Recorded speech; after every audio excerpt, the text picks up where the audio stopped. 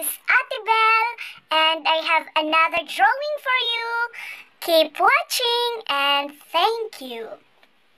Love you.